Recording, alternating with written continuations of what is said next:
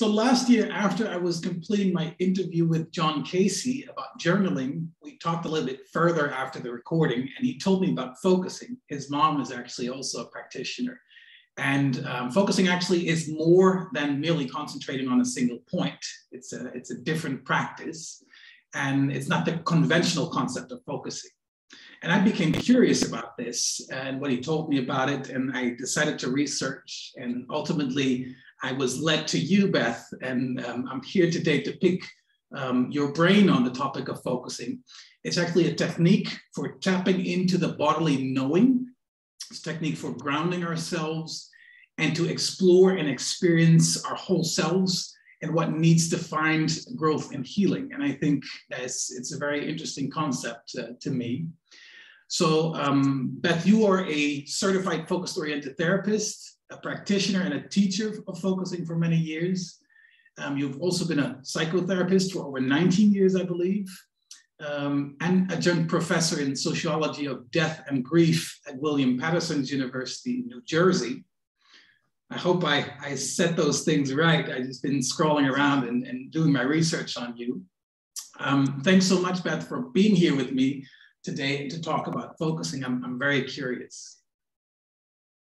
You're welcome. And I, I'm looking forward to being here and answering any questions you might have. Sure. Um, one of the powers of focusing is a very grassroots kind of spreading it because we believe in it so much. Um, yeah. The people who begin to learn about it uh, practice it and then want to learn more and spread it further. So with others. I'm, I'm eager to share. Yeah, really great. Before we dive into the practice of focusing and why it's beneficial, I'd love to start uh, with a personal question, hear from you how that this become a part of your tool belt, tool belt, both personally and also professionally. Could you tell me more about this? Absolutely. Um, it was uh, bringing a one of my children to a therapist who I knew did EMDR, um, yeah. eye movement desensitization reprocessing, if you're familiar with that process. And she also happens to be Eleanor Busher, John's mother. Okay, yeah. And um, she introduced me. She's a long-term colleague uh, and introduced me to focusing, yeah. um, I immediately felt this bodily knowing that we describe yeah. um, as she was working with my son. And I wanted to learn it personally and mm-hmm. professionally, which ultimately helped me get through probably the most difficult 10 years of my life so far. Wow. Yeah. Yeah, when when I when I've been researching it, I also realized, I mean, I wasn't familiar with the concept as such, but I do recognize the process. And I think that I've been doing it myself very much already over, over quite some time. Um, if I would have to ask you, Beth, for a simple definition of focusing for someone who doesn't know anything about it, what would you say? Um, it is simple and yet profound. Mm-hmm. It is a natural organic process that we do already know how to connect with. Mm-hmm. What Eugene Gendlin termed this bodily felt sense. Yeah. Um, and at, t- at, at some point in time, um, from messages, we get cut off from connecting to that bodily felt knowing. So it's almost like we're relearning something mm.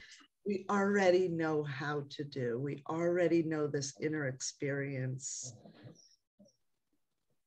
And, and why do we get disconnected?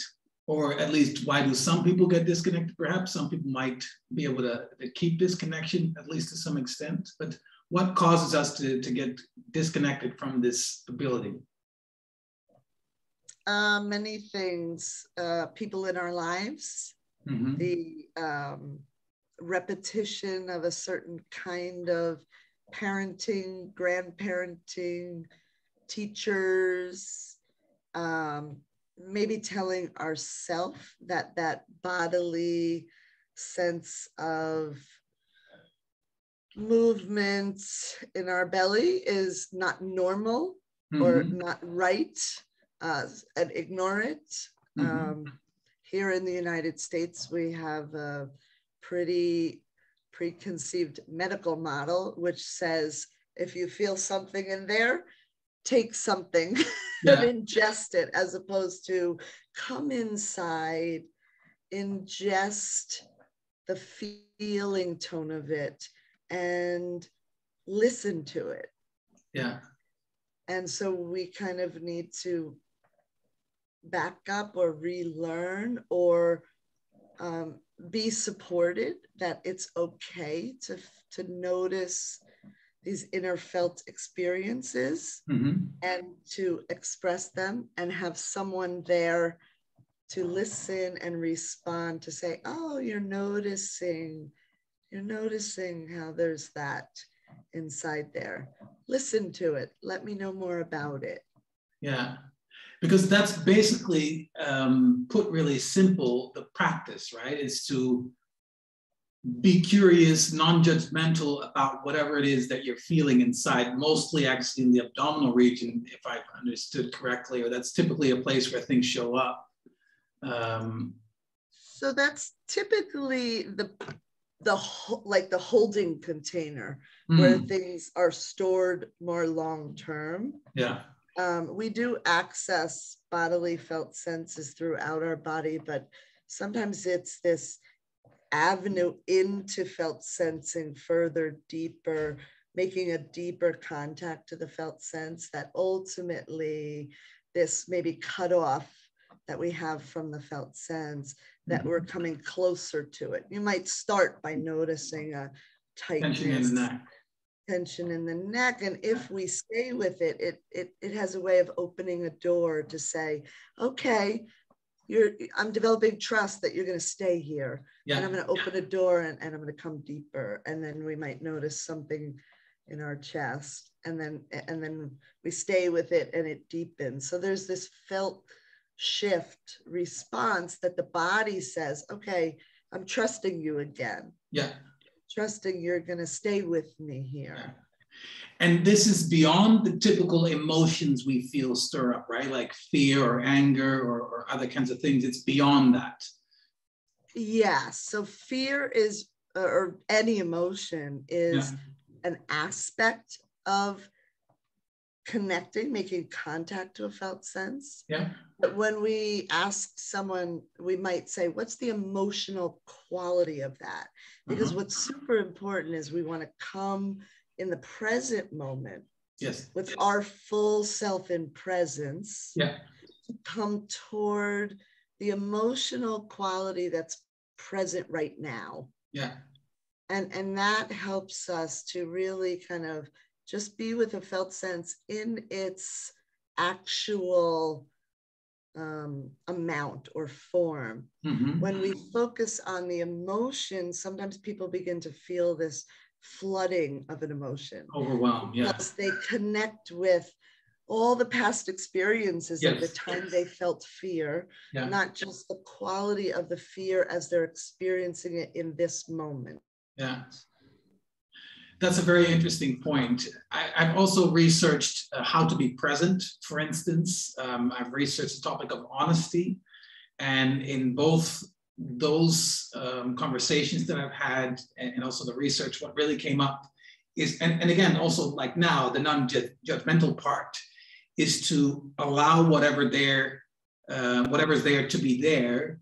And indeed, like you say, with the tension in the shoulder, when you just accept that it's there and you don't have a judgment about it, it kind of dissolves and it makes space for you to kind of relax or let go of tension and go deeper. And I, for, for me, this is a very interesting part. I think that's actually some of that's why I'm interested that we're having this conversation because one of the big red lines, maybe I'm biased towards it, but one of the big red lines that I've been seeing through the topics that I've researched and even seemingly disconnecting topics. Also, for instance, connection, the topic of connection and letting go of perfection. But the, the, the, the big red line is indeed this letting go of the tension that we hold and also a part of about, about being vulnerable and allowing to show whatever is there. And I, I think this is really interesting.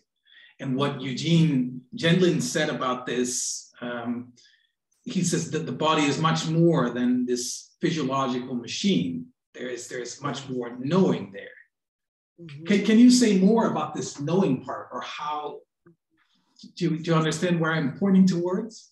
Yeah, so there's um, what we call uh, kind of the inner experience and how we in presence are making a connection, developing this sense of trust to that inner experience. But we're also already connected to, say, a person or people, and there's a felt shared resonant space between mm-hmm. us. Yes. And then there's um, like a pathway where we can sense a, a, felt shared resonance of are we on the same wavelength? Are we mm-hmm. on the mm-hmm. same sensing? Um, are, are we, or is there a point at which there's a little disconnect? And yes. that's where you might clarify a question for me, or you may ask, uh, Am I getting where you're pointing toward? Um, so I sense, no, I'm not really sure, Julius. I've just met you, mm-hmm. but there's something about what else is out there beyond the inner experience. Mm-hmm. And it's this shared resonance with people, with the environment, yeah. right? So you may, um, go out into the woods and you may get into grounded presence and be able to connect more safely with an inner experience because there's not as many disruptions as if you mm-hmm. were on the street of a very busy city and you have people around you have, you have rushing happening you have airplanes flying overhead you have um, cars zipping by right so the more there is in the environment, the, the more difficult it becomes to have like a clear line of shared resonance where mm-hmm. I might be able to connect deeper with my own bodily felt sense of that resonance, right? Yeah. So my thousands of life experiences are very different from your thousands of lived experiences but mm-hmm. somewhere in there there there's some human experience where we have a connection some shared resonance of something. And if we tap into that we can return home to the inner experience to tap further into. So what's my present viewpoint, bodily knowing about my inner experience of what am I still holding about that? Mm-hmm. And that's where change happens. That's where, you know, we can begin to allow attention, allow a sensing the more to notice what have I not yet let go from the past? Yes because you'll inevitably have i not come closer to because you know I've allowed fear to to sort of be a protector yeah. or anger to be a line of defense. And once I can connect with that emotional quality or the story, the content mm. about it, I can then come deeper into connection with my own inner experiences, my own bodily felt sense, but it often comes from that shared connection that you have something about your inner experiences of this, mm-hmm. and I have mm-hmm. my own.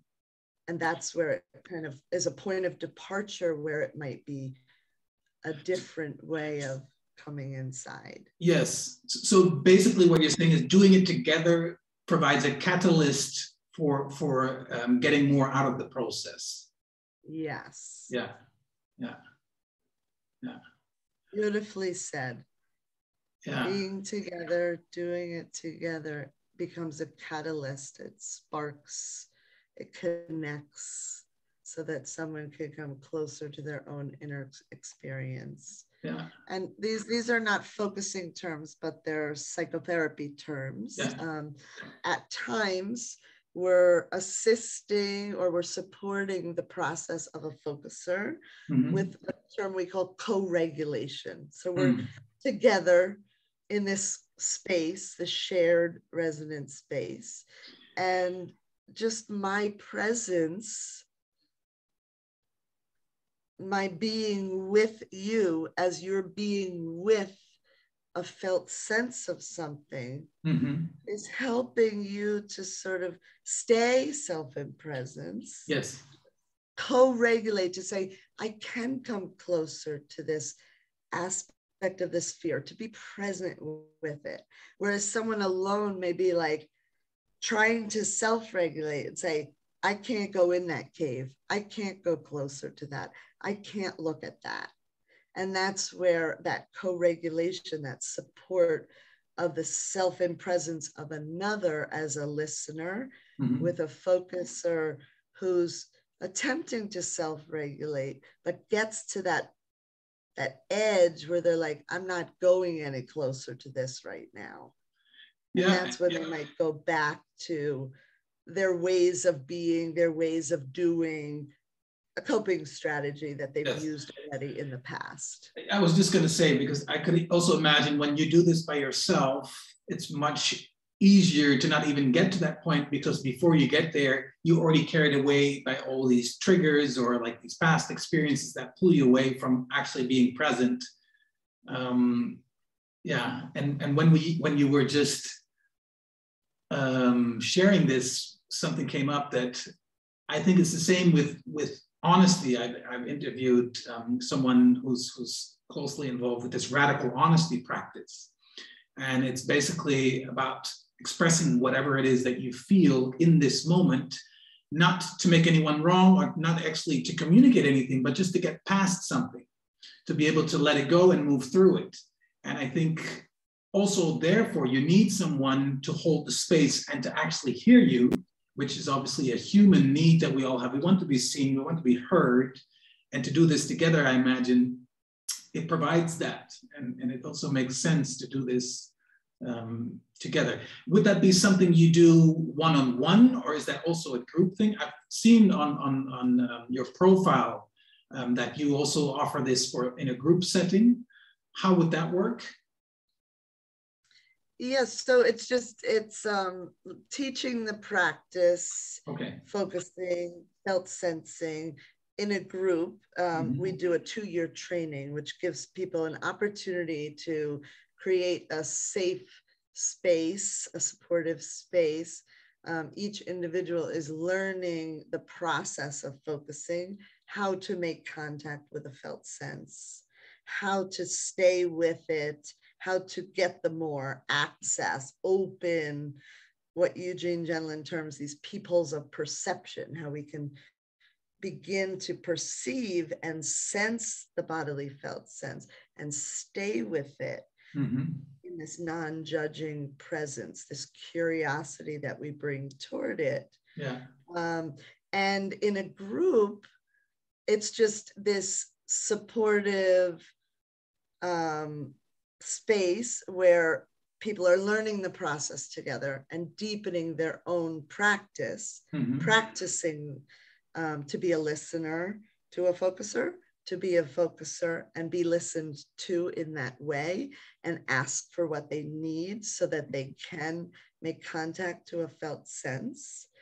And um, in that group space, there's also now we're expanding the shared resonance, right? So we hmm. have both a place where that shared connection may feel like, oh, that's very resonant, but there also may be this recognition of where dissonance happens, right? A, a, where oh, that that thing that someone just said, or that that that bodily felt sense they're describing is actually I'm noticing I'm getting triggered or I'm mm-hmm. getting affected. Yeah.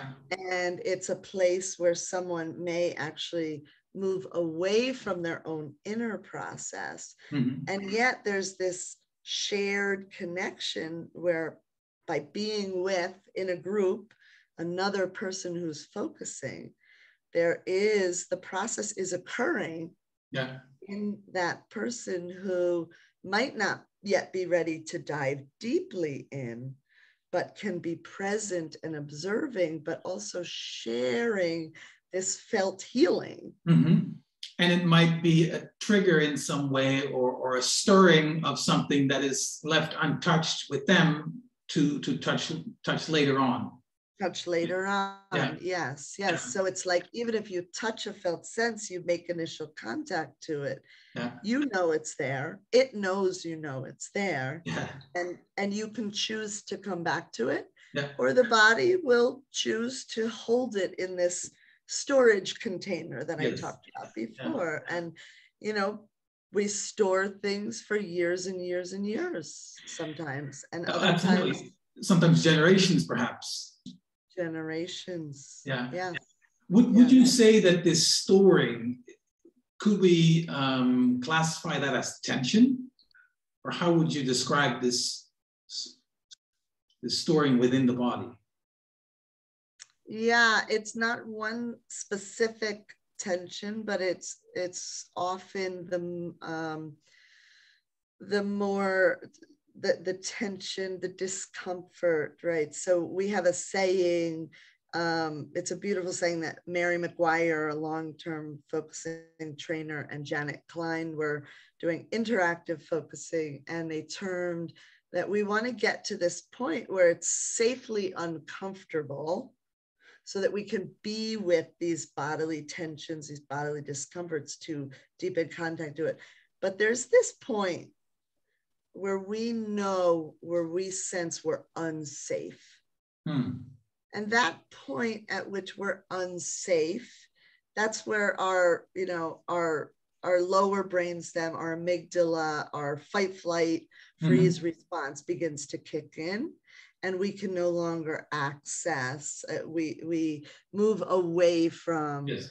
bodily felt sensing, right? So um, there's we have awareness we can keep something company we can make some distance from it to come to it in the present moment notice the tension but there is a point at which we get where okay it feels safe so when we're listening to someone we're checking does it feel okay does it feel mm-hmm. safe to be with this right now yeah does it feel okay to come toward it a little closer? Or do you need some space from it? And so we, we learn over those two years in a group training what are some of these techniques to be able to come toward safely uncomfortable so that someone can stay with a tension in the body, a pain, a discomfort, um, that maybe otherwise for long periods of time they've always moved away from, stepped away from, not gone toward. Yes. Um, and that's a way of allowing what has the body has kindly stored. Yeah. Perhaps intergenerationally, perhaps for yeah. someone else, yeah. um, mm. or for myself, yeah. So that I can begin to safely uncomfortably be with these bodily felt senses so that they can shift and become a more comfortable, a more um, a loosening, a lightening. And these are felt shifts people will notice in their mm-hmm. body. They come toward attention and they just say hello to it, or they keep it mm-hmm. company, or they bring their curiosity to it. You'll hear them say, Oh, I notice it loosened or mm-hmm. oh there's a lightness feeling in my in my body like I was feeling heavy and now there's this lightness feeling yeah and, and so there's these felt shifts yes. that encourage come back return yeah. to the body yeah. and that, that and that also instill more curiosity i imagine instills yeah. more curiosity yeah. two questions beth come up. Um, you said at some point you arrive where it's where it feels unsafe to proceed or to continue further. Um, what what is the practice or what is the the way of dealing? Is that receding and and calming down again before how would one deal with this yeah so we call it resourcing it's like um helping a person to just stay there you know mm-hmm. not quickly move away from it but maybe stay there noticing this sense of feeling unsafe and then checking maybe their self in presence yeah. maybe um, using some grounding tools to help them re-presence because what may have happened is they're no longer self in presence but they're in their memories of their past or they're in this thinking pattern that is so familiar and so automatic mm-hmm. that they might return to it yeah. um, these are stuck places in essence yeah. but we want someone to be with their stuckness, but not go into it, not go toward it, but just kind of hang out there, noticing and resourcing back into presence, back into grounding themselves in this present moment, but kind of holding the line or yeah. staying, you know, at some safe distance to say, okay, you noticed that's unsafe to go toward. Yeah. Let's let's stay here. Let's maybe back up a step. Let's let's come back. We might notice the contact of our body on the chair we're sitting mm. on we may invite someone to actually stand up and kind of reground themselves notice their feet on the floor mm-hmm. notice the support beneath them we may ask them to open their eyes if they have their eyes closed to kind of look where they are right now. Become present again. Moment, representing them yeah. to kind of resource that moment. Um, and, and that helps them to notice oh, what's unsafe is actually the pattern of thinking mm. or the memory of how scary it was when I was being beaten uh, or you know whatever it was or when mm. I, I, was you know I had a sudden you know i remember my father died of a heart attack on the floor and i was the first one to find him you know so mm. it's they they get so close to all the emotion that's been stored of the memory and we don't want them to go in it and get flooded mm. we want them to stay there represence be curious about like what about that is still with you right now mm-hmm. today with a resource of presence with a resource of curiosity so we have to reopen their curiosity and that's and why you do this door is shut yes that I was going to say that's why you do this standing or feeling the chair and looking around because it brings one back into here and now instead of away in those emotions. That's right, because they are physically in the environment and the environment is in them. Yeah. Right? They may be in their home or in their office or in a and place of nature where, you know, they already can access the resource of support that's in the environment they're in in the present moment. Mm-hmm. Right. So it's that connecting to the environment that's around us, maybe a person, right? Somebody who's being listened to or guided by a, a guided focusing process. Um, so, certified focusing trainers, focusing oriented therapists guide someone um, to, to just re resource, re present, stay in that. Mm-hmm. And these tools help that person to stay there um, to kind of really regain access to, oh, I am safe here. Yeah. Yeah. And from there, ultimately, be able to enter into this area and, uh, and, and even, even further down, be able to let go of whatever was there. Yes. Yeah.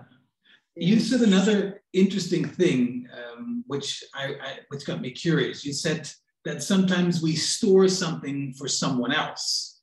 Yeah. How does that work? Could you could you have could you share some examples that bring this to light? Because it's very interesting. Sure.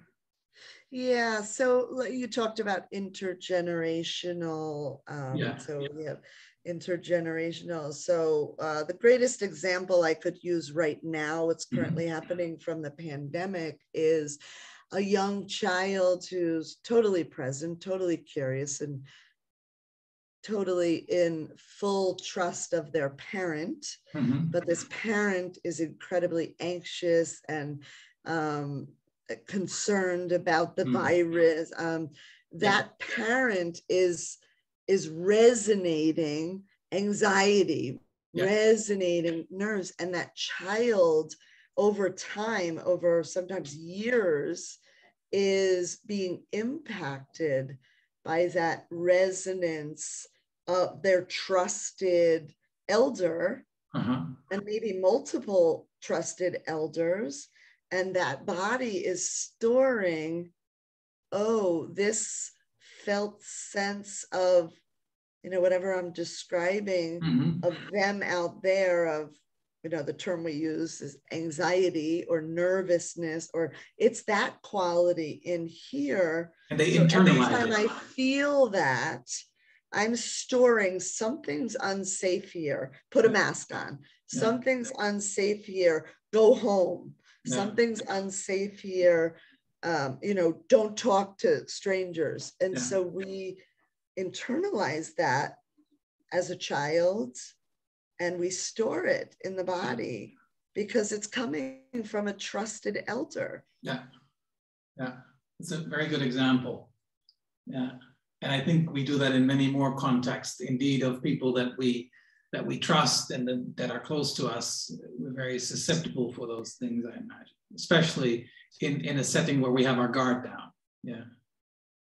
Yeah, yes, yes. And so that's where some of those what you described as so I I have a one of my courses that I teach is called Curiosity's Tether, right? Mm-hmm. You think of a tether that holds a boat um, tied to the moors it tied to the side of the the river or the ocean so it can't get away, right? But mm-hmm. when you're ready to sail, on smooth waters, mm-hmm. you untether the boat and you curiously go out on an adventure. Yeah. Right. So there's these tensions that we hold in the body. And so sometimes in focusing, we curiously even just notice, right, the tethers we're being held by.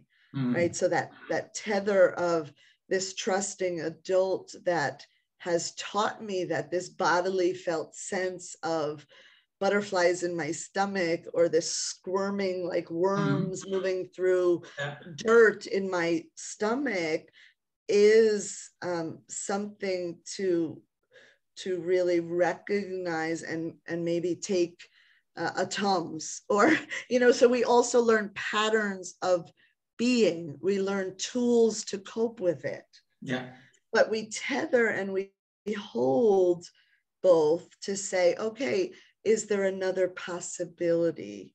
Is there another way to be with what you're noticing inside there? And, and so we help gently come toward that. We don't tell them, don't trust your parent, but we, you know, we tether, we let them stay tethered to that while we also, you know, begin to hold and help them hold.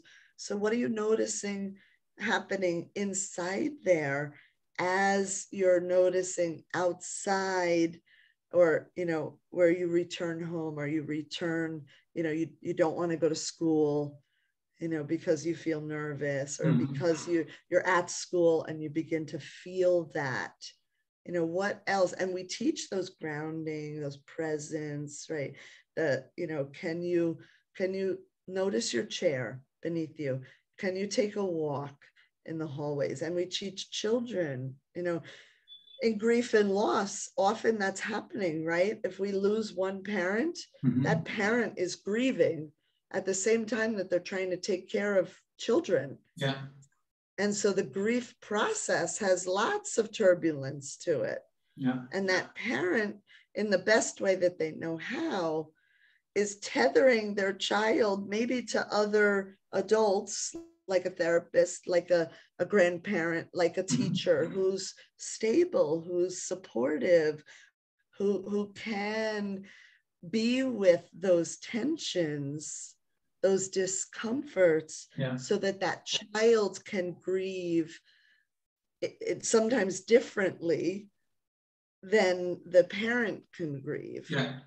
yeah. So a parent may have 50 years of memories, whereas the child has 10. Yeah. Or the parent has 38 years of memories and the child has five. Yeah. And so this, you know, bringing... Yeah, and they're not overloaded with one way of, of dealing with it, but they can find their own way. That's right. That's right. So we think about, you know, we're tethered, but we're also held supportively, safely. Yeah. By other people, by other supports. You know, often children who have been in traumatic experiences, um, they they they naturally somehow there's so many of them that just naturally teach themselves like the earth is safe mother earth mm. you know going for a walk in the woods going to sit by the river they naturally know that's a safe place to be alone yeah. and it doesn't feel so safe at home or at hmm. school mm. yeah there's like this natural organic connection we have to the earth yeah yeah, it's it's very interesting how our environment can really determine also the ability to go through this process. Yeah. I, I would love to dive into um, the six steps or the basic steps where people start when they familiarize themselves with this process. And Eugene um, Gendlin, in his book Focusing, he, he basically um, sets out six subjects or movements that are kind of the steps in this process. And obviously, this is the start, it's the basic start. And after that, I imagine when you really learn this practice, it kind of evolves into one, um, one kind of process, perhaps. And he, he identifies clearing the space, felt sense, handle, resonating, asking, and receiving could we together go through these six steps just for, so for people to understand what are these basic different elements and how that process would evolve? Yeah, I'm just gonna get the sun out of my eyes. Sure, of course. It's hard to see now. The beautiful sunlight is very bright today, but it's in my face. Yeah. Let's see if that's better. Now it's too dark. Just not in my face. Okay, sorry about that. No worries. Um, so we start with yeah. clearing the space. And, and maybe this follows on, on what we talked about, how the nature, for instance, can be an important element of, of our able, ability to, to do something like this. Yeah. So I want to say first that, you know, that the there were not videos back in the time where Eugene laid out these steps. And mm-hmm. so he, he describes, if you read more into his book. And if you read anything about focusing, that these steps are part of a dynamic process. Yeah. They're not as static. Start with one, then go to two, like a prescription. Um, mm-hmm. you know, take amoxicillin for 10 days and your strep throat will go away. Yeah. You have to take the full 10 days. It's not that simplified. So we think of these steps that they move. And so when we get present mm-hmm. or when we sit down to begin a focusing process, we even ask ourselves, where do I want to begin right now in the present moment? Mm.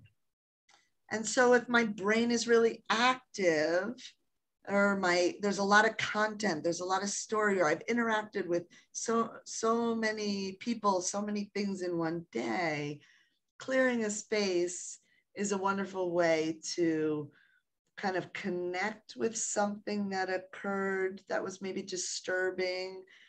And then I find a way to kind of come into my present self and I sense what is the space that I need from this whole thing about needing to get to work in 20 minutes. Mm-hmm. Okay. And then I'm just, okay, I'm going to just, I'm going to take that and I'm going to sense in my body and I'm going to, I'm going to put that over here for right now. And so we, we use the body and the space around us mm-hmm. to kind of make some space for content or um, this, okay, I'm thinking, I'm believing um, this, uh, this, um, that, that that person was feeling something about me in that moment when we had this exchange and mm-hmm. and and I, I got uncomfortable there. I remember that moment where I got uncomfortable and and I didn't know what to do. Right. And so so just for right now, I'm gonna take that whole memory. And so inside me, I have the whole memory. I'm not going to tell you the whole mm-hmm. story, mm-hmm. but the memory with this content is kind of expanding itself because my whole being knows it. Mm-hmm. And I don't need to share the content, but I can. Mm-hmm. And then I could say, okay, I'm going to check inside my body. I'm going to come present. And then I'm going to make some space between me and that. And I'm going to, I'm going to just, I'm going to lay that one right over here. And so we use our resonance, our felt resonance of our connecting with our felt sense, but clearing space and making some space inside. And that gives us an opportunity to then make contact with what we're going to work with in that focusing time. So if I had mm-hmm. 20 minutes today, I may then, with however many things I kind of made some space from, mm-hmm.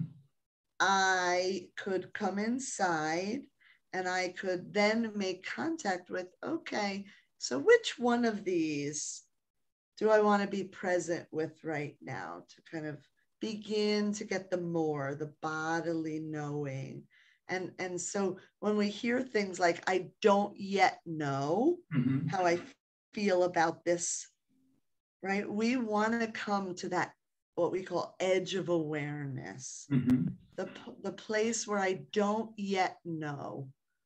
Okay, so the knowing is when we get in thinking belief patterns, right? Our brain stores kind of concepts, mm-hmm. a thought about something, a pattern, a way of coping with something. And we can come to it in a present moment by connecting with the felt sense. So, so we might clear space first. Yeah. With that.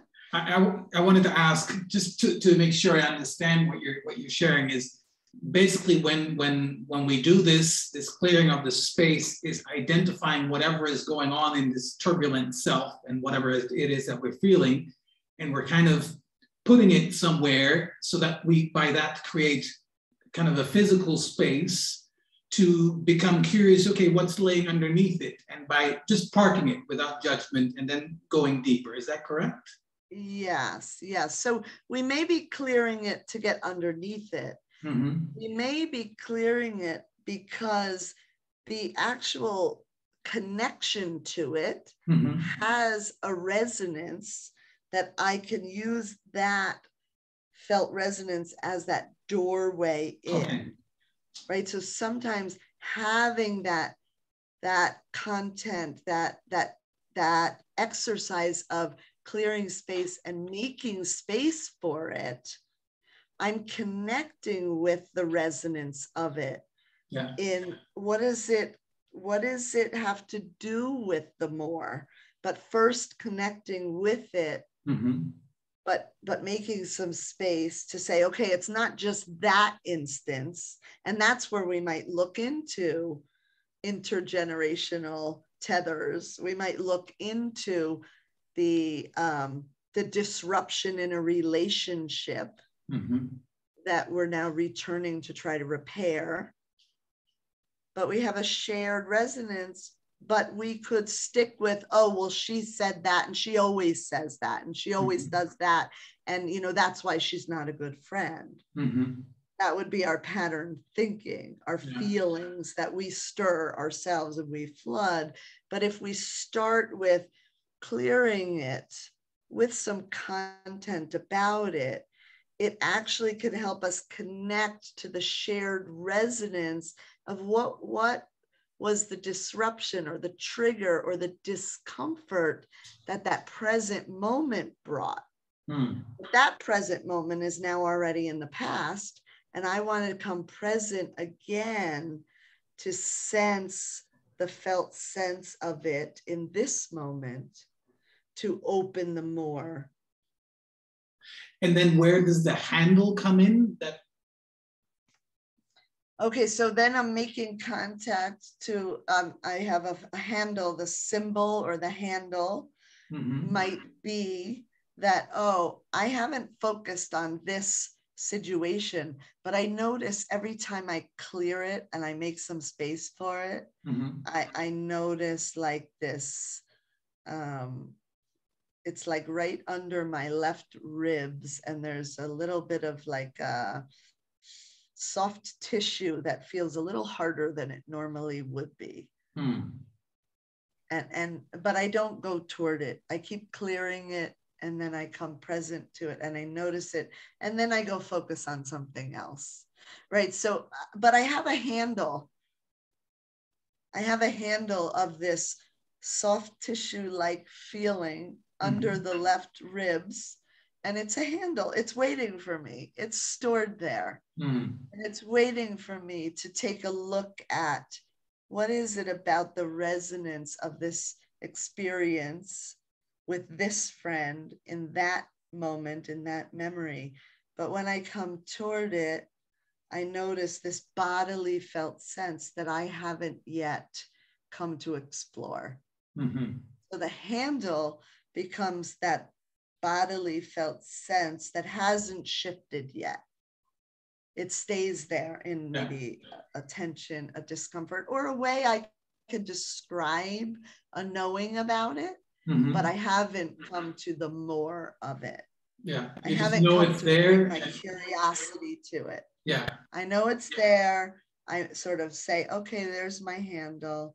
I know it's there but I'm going to leave it for right now. So we, we make a handle and we say, maybe I'll come back to you in my focusing on, you know, on Sunday night or when I have another focusing session. And then, or maybe when I go out in nature and I feel safely comforted. We do do self focusing. When we practiced a long time, a lot of people get into sort of crossing focusing and meditation. Hmm. And so they self focus but they use their meditation and then they self-focus do some self-focusing and sometimes it feels safer when you're very practiced you could get that step that feels even too scary to do with a listener because yeah. we might feel judged by yeah. a listener yeah. and so it can go a step so that's a handle yeah. it's like we know it in a bodily felt way but it hasn't found its felt shifts, its change, the more about it.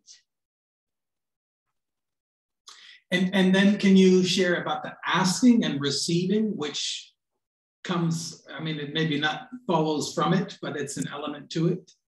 Right. It could be a, so if I were to come to this handle right now and I were to say, okay, I'm going to get curious about this shaped like a liver it has a color of white, right? So I'm coming toward this with curious, non judging attention. Mm-hmm. It's, it feels like it's behind my ribs.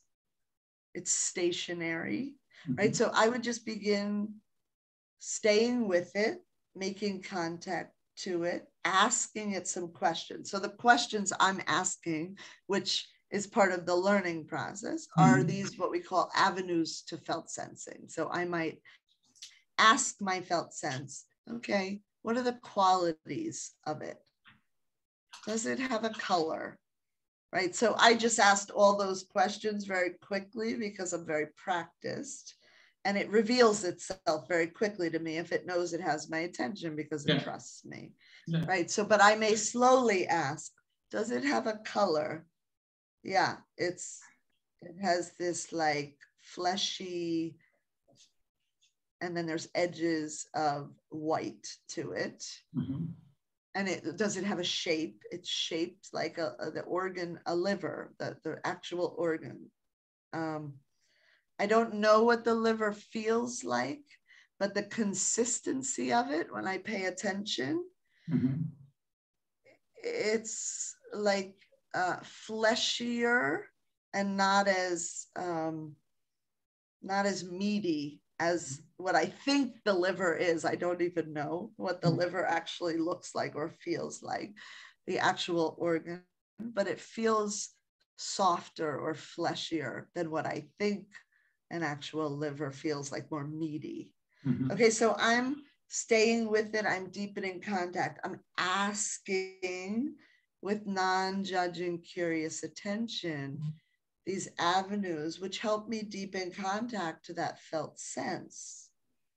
And I stay with it and I deepen contact to it to allow it to reveal itself. If I get to a place where, you know, I may come up with a question, you know, something like using a felt sense word, like, what makes it so fleshy? Mm-hmm. And I may stay curiously with that word because it's not coming so readily. And I may need to get quiet and pause and ask it that question so that I can receive the body's sense of it, mm. the body's knowing, the body's wisdom. But I have to get quiet enough to say, what makes it so fleshy?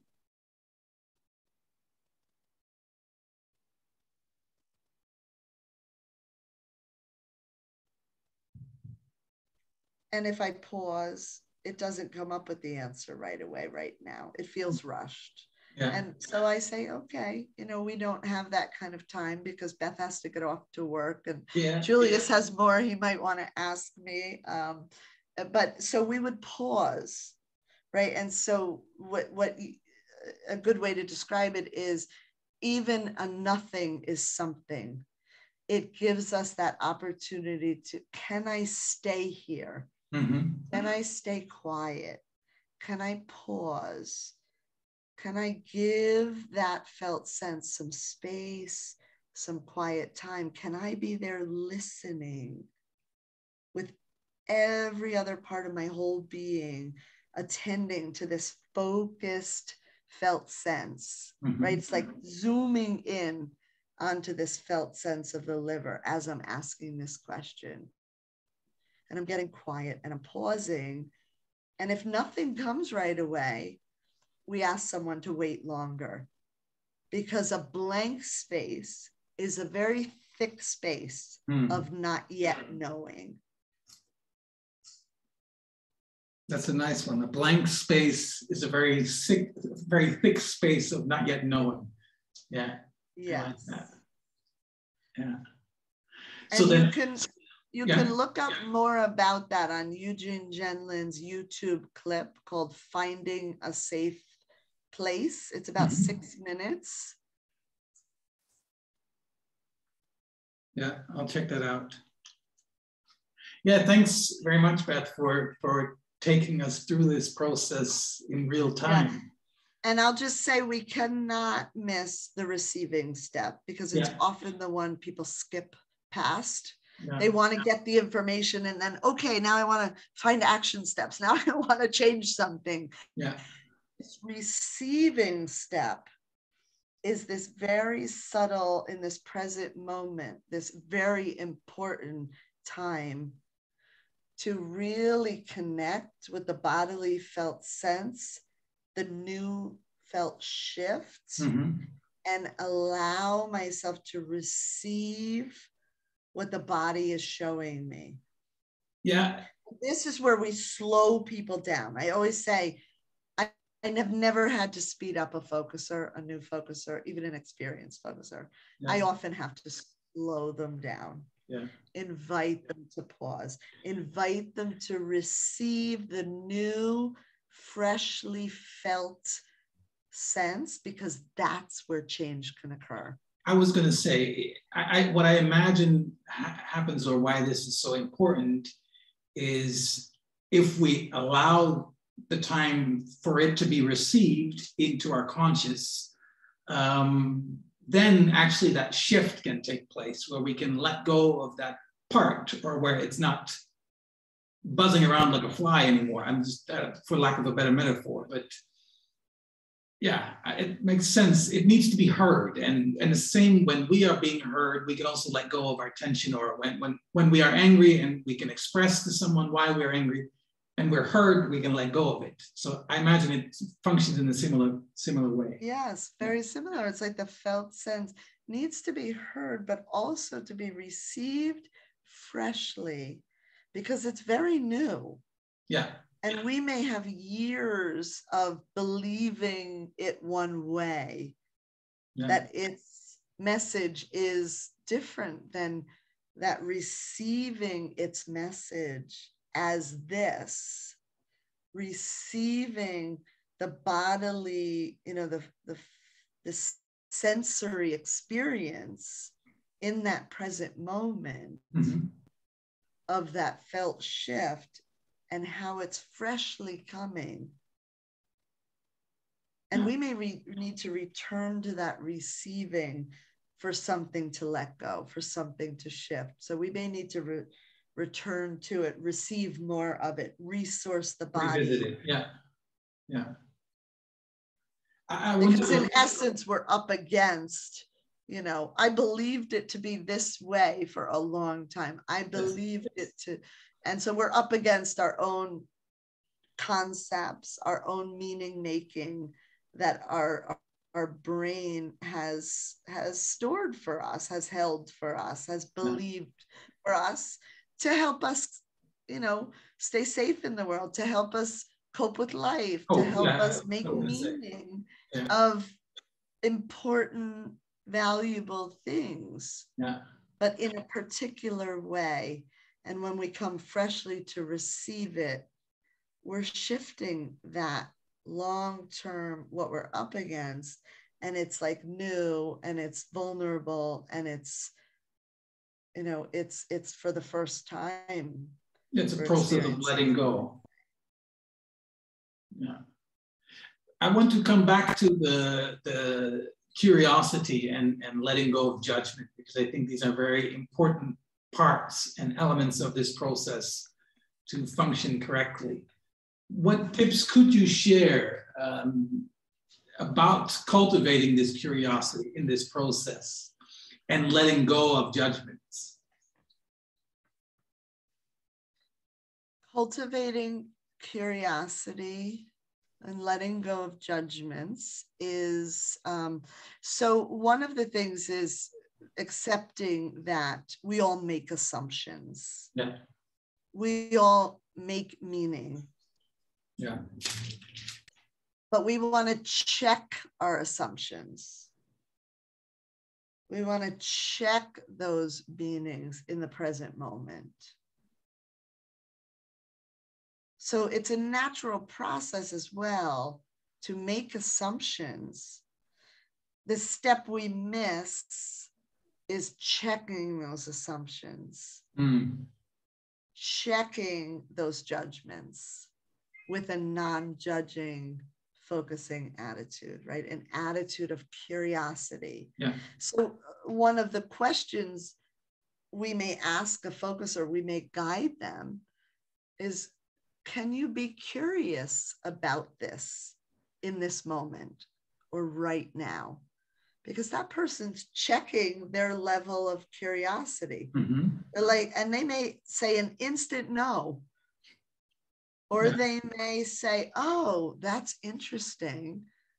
I have to slow down to check my assumption yeah. in the present moment." Yeah.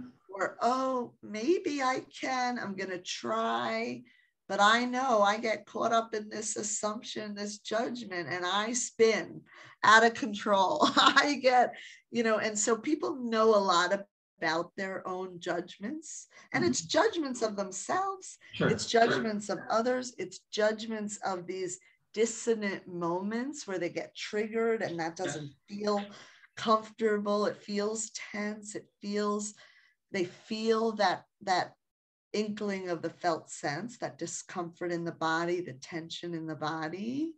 And so to be curious means to question our own judgments. Yeah. And so the maybe is a good place because that's where we can help them to ground in presence. We can help them to resource and we can help them to access a safe avenue into felt sensing in that moment. Yeah. Yeah, I think if we can cultivate more curiosity, not only with regard, obviously, to this process, and the same with being non judgmental. I think not only our relationship with ourselves, but also with others, I think our life will dramatically improve um, if we can cultivate this more. So, yeah. yeah. Yeah, yeah.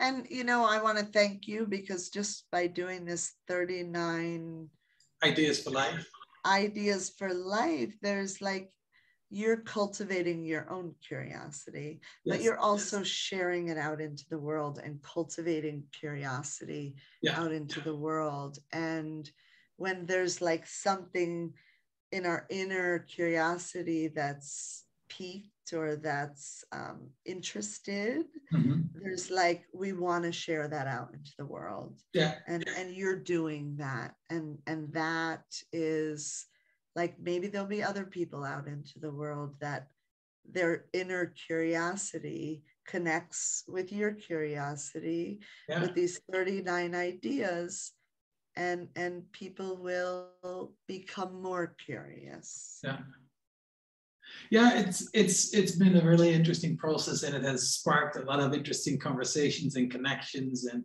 new avenues. So it's been yeah, it's been amazing.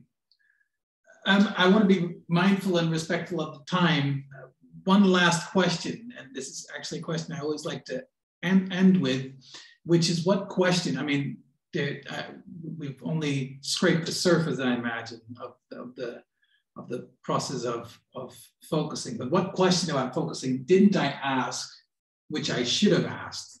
So which angle did I completely overlook, which is an important one to mention or to touch upon? Mm. Well, if we had had more time, I would love to get further into the natural occurrence of process skipping and hmm. stopped process.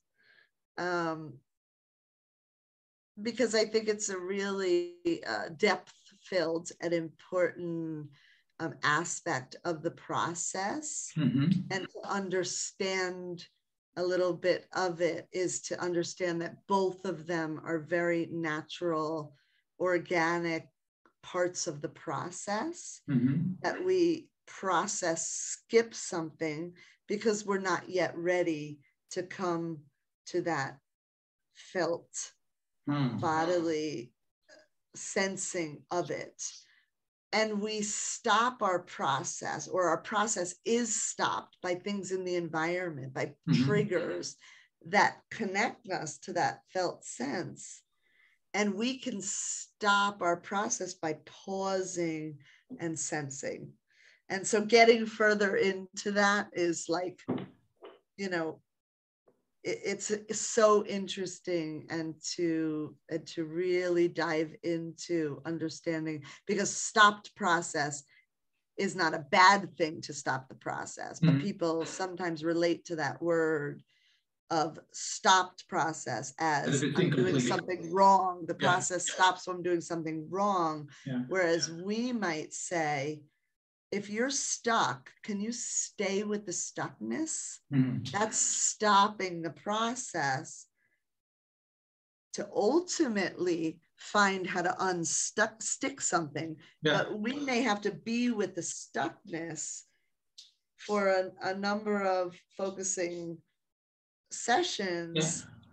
to to recognize what's stuck, to loosen it up, yeah. before it can unstick, before an action step, a change can happen in our lives. Yeah. And so a stopped process is a very relevant part of the process.